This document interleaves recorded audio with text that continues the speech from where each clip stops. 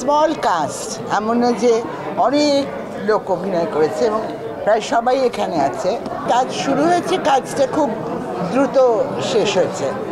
খুবই দ্রুত শেষ হয়েছে।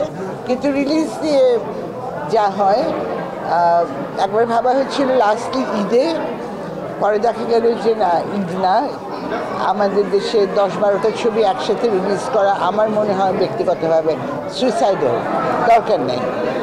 আর তার আগে যেটা, সেটা ইলেকশনের একটু আগে, তখন সন্ত্রাসী হামলার একটা সম্ভাবনা ছিল। তো সাধারণ মানুষ কেন নিজের টাকা দিয়ে নিজের জীবনকে বিপন্ন করে সিনেমা দেখতে যাবে?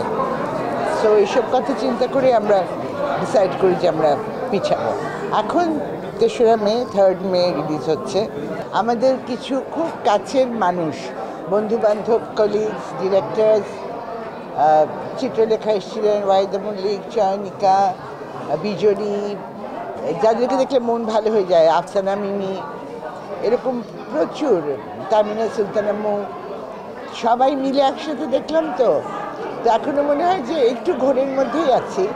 আর নিজেদের ছবি তো ভালো লাগে। আর তবে সত্যি কথা হচ্ছে যে, খুবই যত্ন নিয়ে তৈরি একটি ছবি।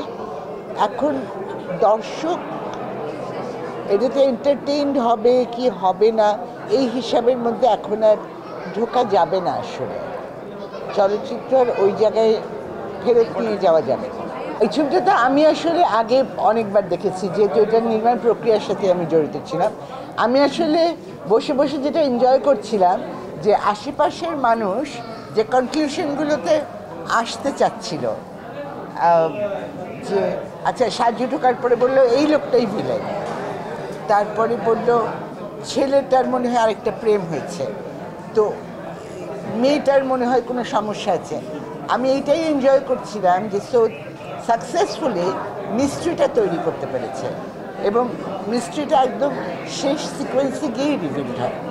তো আমার তো দেখা, আমি দেখছিলাম অন্যের দেখার ভঙ্গিটা কীরকম।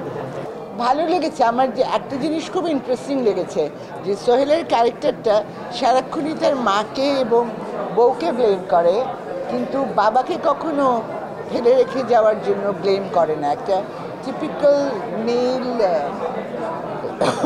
ডমিনেটিং সোসাইটির রেপ্রেজেন্টেটিভ এই ছবিটি বহুবার দেখেছি, যেহেতু শুটিং থেকে শুরু করে এডিটিং এভরিথিং আমি আসলেই দেখছিলাম, আমার আশেপাশে যারা বসেছিল, তাদের রিয়াকশনসগুলা তারা গল্পটাকে কীভাবে ইন্টারপ্রেট করছিল, কোন দিকে যাচ্ছিল, রহস্যটার কাছাকাছি কেউ কেউ পৌঁছেও গেছে, যে মেয়েটা বোধহয় সত্যি না। আমি এগুলো এনজয় করছিলাম সংলাপ সংলাপ রচয়িতা বদরুল সৌদ আছে তাকে জিজ্ঞেস করতে হবে। আমি না জীবন ধর্মী টর্মী বুঝি না। আমরা যেভাবে কথা বলি, যা যা কথা বলি সবই তো জীবনের কাছাকাছি কথা। যে কথাগুলো কোনো মিনি- মানেও থাকে না, সেগুলো একটা মানুষ তার জীবনেই বলে। এখানে কিছু সত্য কথা ছিল, যেগুলো সচরাচর আমরা হয়তো সামনে আনি না।